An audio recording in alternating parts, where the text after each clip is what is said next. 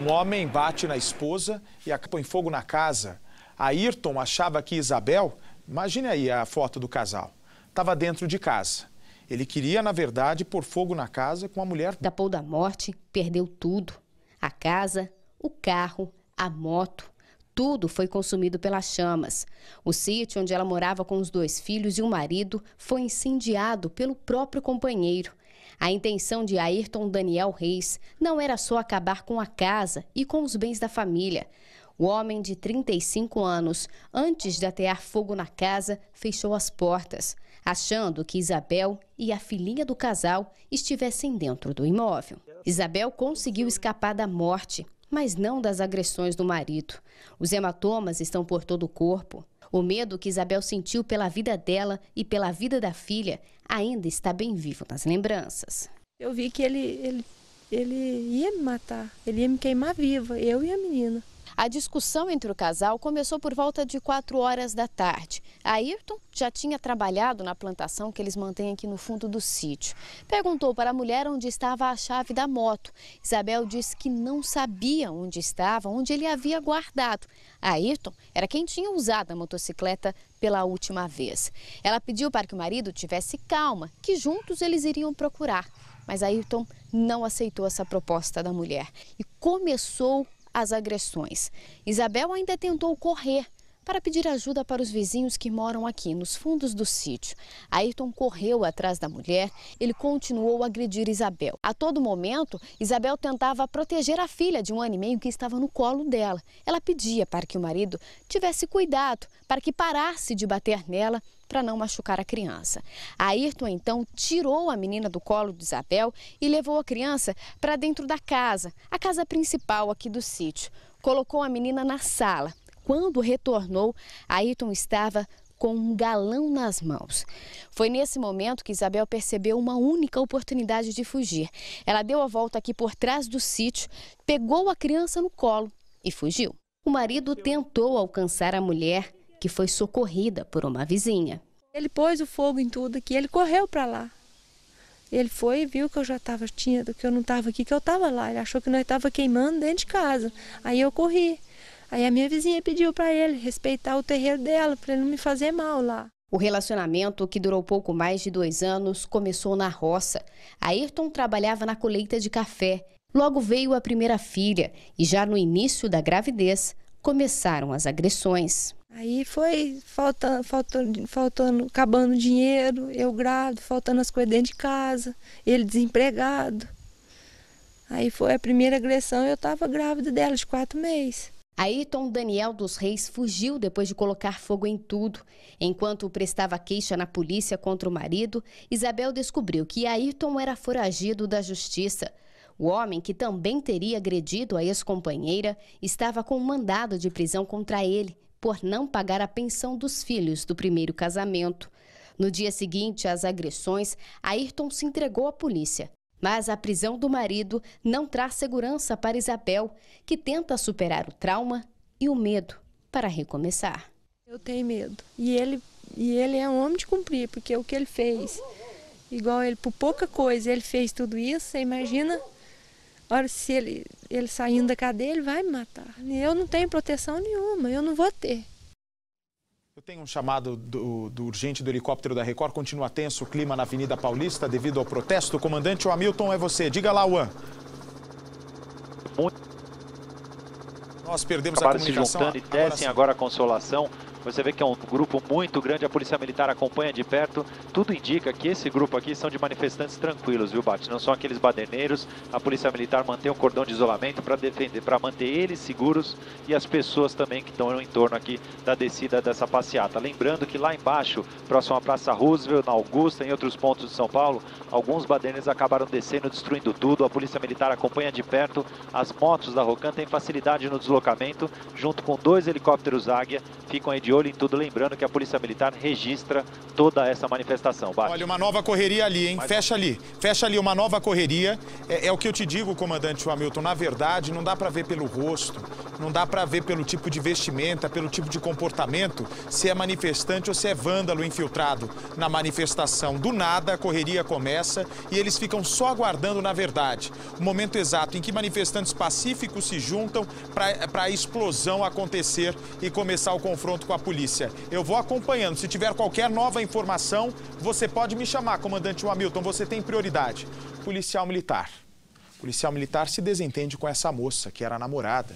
Os dois se conheceram na faculdade de Direito, estavam juntos há quatro meses, mas depois de um certo tempo ele resolveu, ele resolveu dar um basta na situação. Na verdade, ela não queria mais nada com ele.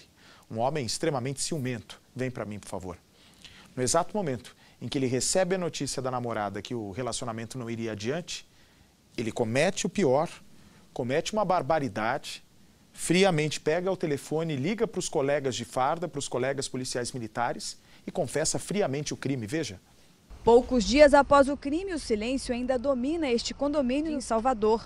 Foi aqui que Equelânia Faro de Menezes, de 29 anos, foi assassinada. O acusado é o próprio namorado, o policial militar Edson dos Santos Trindade, de 37 anos, que morava aqui sozinho já há alguns anos.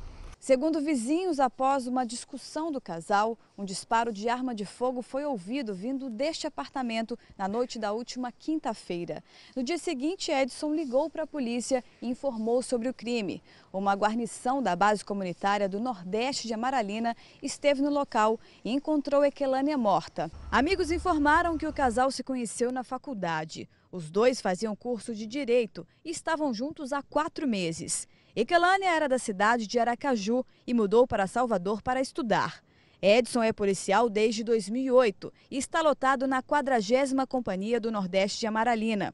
Vizinhos informaram à nossa equipe que ele tinha um comportamento agressivo. Um vizinho que não quis gravar entrevista disse que há cerca de um ano, o policial Edson chegou a discutir com uma moradora por causa dos gatos que ela criava e chegou a agredi-la. O caso foi registrado na delegacia de Pau da Lima. Na noite do último domingo, Edson resolveu se entregar. Ele está preso no batalhão de choque da Polícia Militar em Lauro de Freitas. Em depoimento, Edson disse que não lembra das circunstâncias do crime e que não discutiu com a namorada.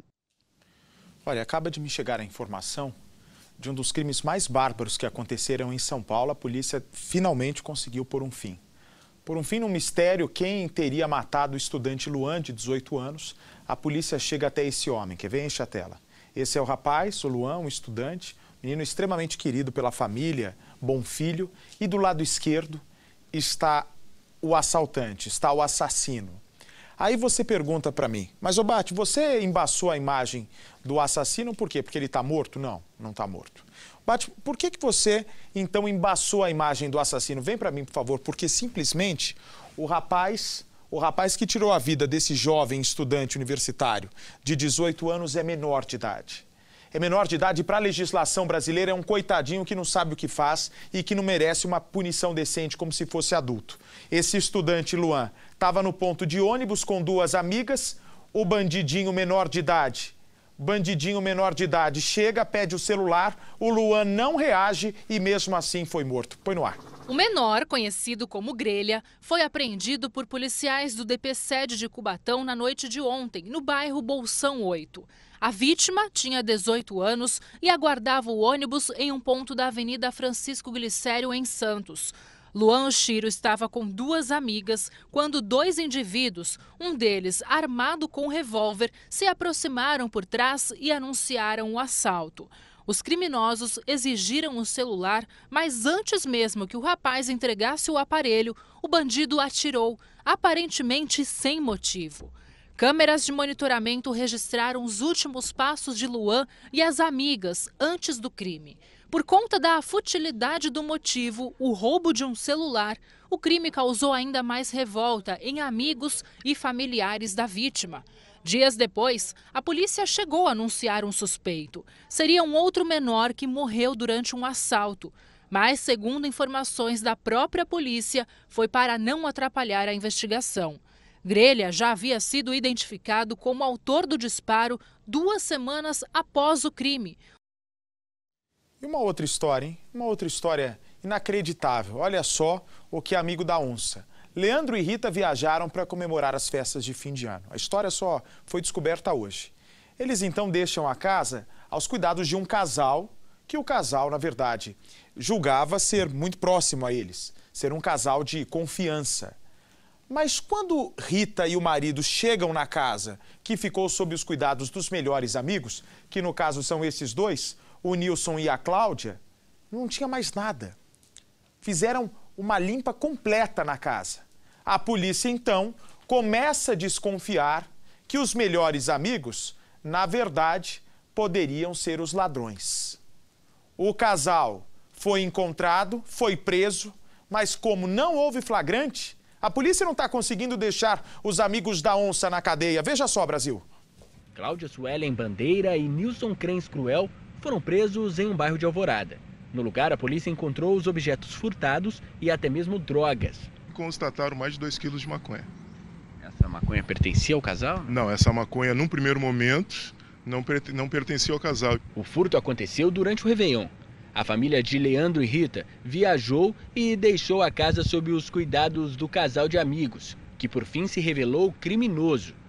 O prejuízo foi de mais de 35 mil reais, como a repórter Amanda Silva mostrou. Imagine você voltando para casa, entrar no local e encontrar um verdadeiro vazio. Não tem eletrodomésticos, não tem as roupas, não tem os móveis, não tem nada que você conquistou por anos é para acabar com o fim de ano e o começo de ano de qualquer família, né? Isso aconteceu com essa família aqui do Leandro e da Rita. Eles chegaram em casa da praia e olha só, não tem televisão, não tem eletrodoméstico. A prisão do casal poderia significar que a justiça foi feita, mas não é bem assim. Nós voltamos à casa do Leandro e ele vai explicar por que, Leandro. Pois é, ontem era por volta das 4 horas, o sargento Batista da Brigada Militar uh, tinha me ligado informando que havia pego o casal, né? E, e nós fomos à, à delegacia e realmente encontramos eles lá, algemados, presos, eles e mais, mais dois lá. E estando na delegacia, saí de lá às 9 horas, estavam lá ainda tudo fazendo a parte burocrática, preenchendo o papel. Mas a informação que eu tenho hoje de manhã é que eles já estão soltos, né? Não ficaram, não foram presos porque não sei, não consigo entender essa justiça, não consigo entender nada mais nesse país. Quero falar com a senhora aqui, que é a esposa do Leandro, né? E como é que encara tudo isso, sabendo que eles foram presos, algumas coisas recuperadas, mas eles já estão na rua? Ah, é muito triste saber que soltaram eles, né? Isso que é o pior. Que eles podem até voltar e querer fazer alguma coisa, né? Querer se vingar. O pior de tudo é isso. Isso que passa não o tempo todo na sua cabeça. Não tem justiça. Os objetos recuperados pela polícia ainda não foram restituídos. Mas ao menos a caturrita de estimação já está de volta. Aos poucos, a família tenta retomar a rotina. Incrível como a gente foi enganado. Incrível como a gente foi enganado. Você vai vendo o helicóptero da Record, tropa da, a tropa de choque nesse momento. A tropa de choque nesse momento vai avançando rapidamente. Eu tenho novas informações com o nosso comandante, o Hamilton. Bate os vândalos se juntaram aqui próximo à Avenida Angélica, atrás da Consolação e simplesmente bloquear, tentaram, na verdade, bloquear a via. A Polícia Militar jogou uma bomba de efeito moral para conseguir dispersar esses manifestantes e mais uma vez aquela grande correria bate. Eles foram correndo, descendo a Avenida Angélica e por onde passavam, infelizmente, foram chutando carros, derrubando lixeiras e causando transtorno aos motoristas que passavam pelo local bate. Repórter Bruno Piruca, 8 da noite em ponto em São Paulo. Fala, Bruno. Bate, um catador de latinha estava passando no momento da confusão, ele acabou sendo atingido na perna por ferimento leve. Ele foi socorrido no local, mas não precisou ser levado para o hospital. Uma outra jovem que estava também no manifesto, ela acabou sendo atingida na altura da barriga, teve ferimento leve, foi socorrida também pelo pessoal do Corpo de Bombeiros e encaminhada ao hospital, viu, Bate? Já tenho informação de uma pessoa presa, o comandante Hamilton me chama novamente, helicóptero Águia da polícia, pede para o outro helicóptero agora fazer o apoio, porque enquanto um vai passando informações para os policiais por terra, onde estariam os vândalos que tocaram o terror na Paulista e na Consolação e depredaram patrimônio público, o outro helicóptero vai fazendo a filmagem, o, na verdade, o que é prova, o que é prova importante para depois prender quem está tocando o terror, comandante. Bate exatamente, você vê aí no detalhe o Águia que faz o registro das imagens. Lembrando que a Polícia Militar utiliza também Olha, bate mais uma correria, vou tentar te mostrar aqui. O que, é, que é que está acontecendo aí, comandante? O que é que está acontecendo? Mais bomba de efeito moral? É isso, uma correria. Uma correria, você vai vendo.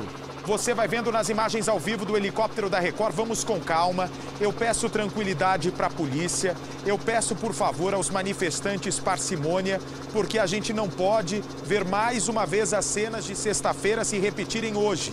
Veja só ali o vândalo. Olha, fecha lá estão colocando, estão pegando lixo, estão jogando nesse momento no meio da rua para impedir o avanço da polícia. Estão correndo cada vez mais, estão extremamente rápidos porque possivelmente atrás a tropa de choque está apertando o passo.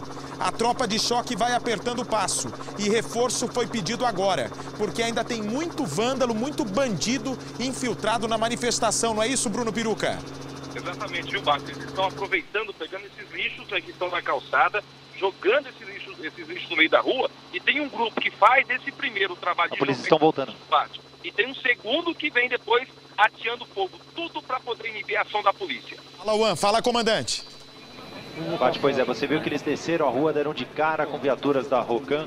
Como eu disse, as motos têm facilidade de deslocamento, Bate. Eles vão cercando esses vândalos, só que eles correm para outro lado. É uma verdadeira caça de cão e gato, Bate. Eles saem correndo de um lado, a polícia militar chega do outro ponto, joga bomba de efeito moral para poder dispersar esses manifestantes, esses vândalos, na verdade, e simplesmente eles correm para o novo ponto, por onde passam, acabam deixando um rastro de destruição. Bate. E você repara o jeito que eles agem. Eles tocam terror, quebram as lojas, quebram bancos, destroem casas, colocam todas essas barricadas com fogo no meio da rua e quando a polícia passa, eles diminuem a velocidade do passo para, na verdade, os policiais acreditarem que nada tem acontecido. Uma outra correria ali, hein? Uma outra correria. São as motos da Rocan que se aproximam. As motos da Rocan que se aproximam vão revistar agora. Os policiais estão dando ordem para que essas pessoas parem de correr, para que a revista aconteça. Parece que tem uma criança até no meio disso. Deus me perdoe, que coisa. Não é possível que alguém leve criança numa manifestação dessa. Levam para dificultar a ação policial, para constranger o policial. O policial fica constrangido e acaba não agindo. Eu vou voltar daqui a pouco. Olha, olha, olha o policial. Quase atropelou uma pessoa ali, quase atropelou uma pessoa. Vamos com calma. Eu peço calma, por favor. A gente imagina o nervosismo dos homens da PM. O policial desce, coloca a mão na arma para tentar intimidar, para tentar intimidar os vândalos que tentam correr no sentido contrário, no sentido oposto para onde vieram. A tropa de choque já está recebendo informações pelo helicóptero Águia do ponto exato onde os manifestantes estão se reunindo. Lixos foram arremessados no meio da pista. Uma bomba de efeito moral foi lançada agora novamente. O repórter Bruno Peruca me avisa, inclusive, que uma pessoa presa, já há uma pessoa presa na delegacia da área. Repara ali. O policial deu, usou o cacetete, usou o cacetete para dar o golpe num dos homens que resistem, que resistem à ordem de parada. Na verdade, os policiais estão tentando cercar para conter esse grupo, que, segundo informações da inteligência da polícia no helicóptero Águia, é exatamente esse grupo que colocou fogo agora na Avenida Paulista. Pois não, comandante Hamilton? Bate, exatamente. A Polícia Militar está fazendo um grande trabalho na questão de cerco desses baderneiros. Eles simplesmente passam informação, trocam, ideia, trocam informação com Águia e conseguem fazer o cerco. Os manifestantes dão de cara com a Polícia Militar na outra rua, só que eles correm, Bate, para outro ponto. Infelizmente, eles disfarçam, fingem que são é, pessoas de bem e aí, de repente, se juntam novamente e outra confusão começa em outro ponto. Bate. Eu volto já, eu volto já com você, comandante Hamilton. Vamos monitorando.